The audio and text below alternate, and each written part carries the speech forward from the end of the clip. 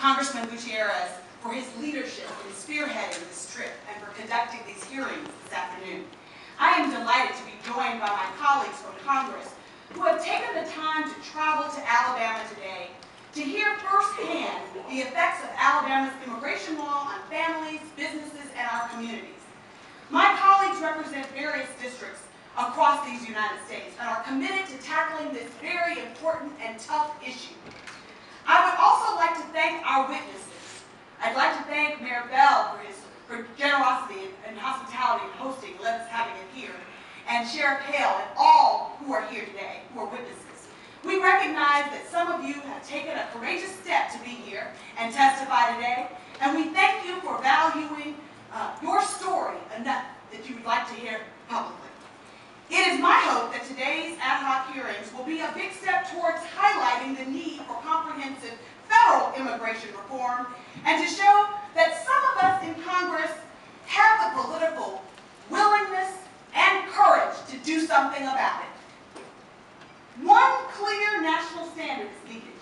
We acknowledge that we have a broken immigration system that needs to be fixed.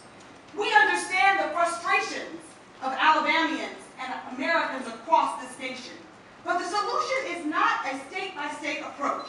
We believe that immigration is a national problem and must have a federal response. We will take what we hear today back to Washington as evidence of the continued need for federal comprehensive immigration reform.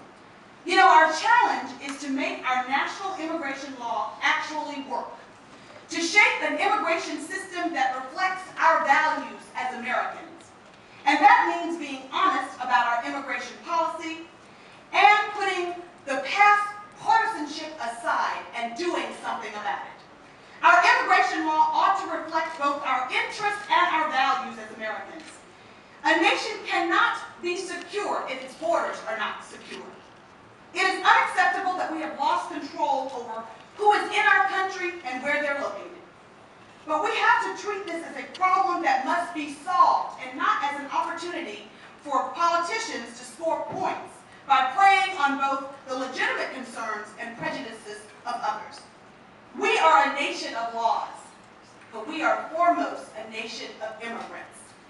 To be clear, no one here is suggesting that we do not enforce immigration law. On the contrary, I believe that the federal government should enforce the immigration laws that we have in place to protect our borders, our workforce, and our communities.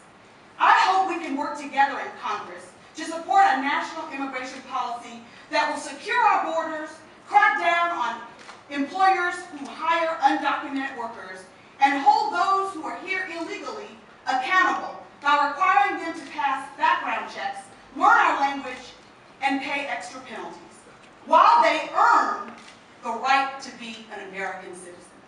I also know that state immigration laws like Alabama and Arizona are overreaching and flawed and unconstitutional because they preempt federal enforcement.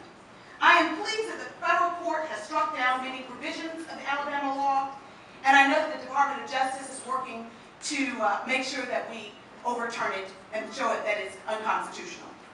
You know, our law in Alabama makes teachers enforcers of immigration policy. Good not be vulnerable to arrest and detainment, and lawful citizens should not be subject to profiling just because of the color of their skin.